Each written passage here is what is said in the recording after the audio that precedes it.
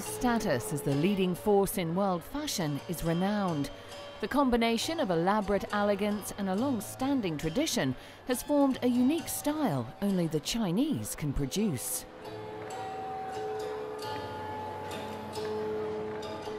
The talent coming out of China is exciting. Full of enthusiasm and dedication, the next generation is ready to rule the fashion world.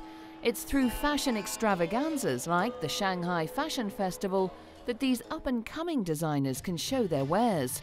Along with international designers and top models, the city celebrates the innovation of fashion and style.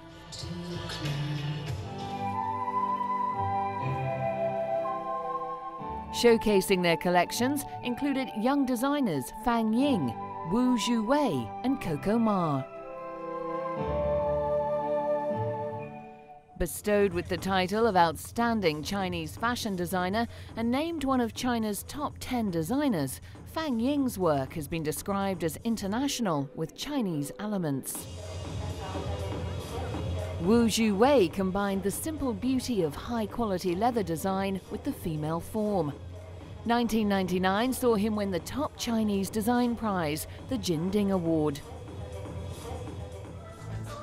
Hong Kong has established itself as the hub of glittering style, with the Hong Kong Fashion Week an event high on the fashion calendar.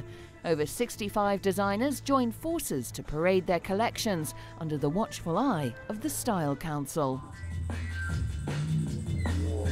Coco Ma has shown her designs in Japan, as well as representing contemporary Chinese fashion in Sydney and France.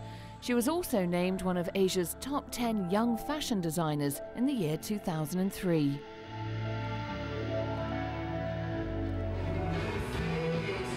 History plays a vital role in the Chinese fashion industry, with inspiration coming from long ago customs and cultures. Chinese fashion's history of elegance and serenity makes a fascinating concept, one that has inspired many couture collections throughout the world.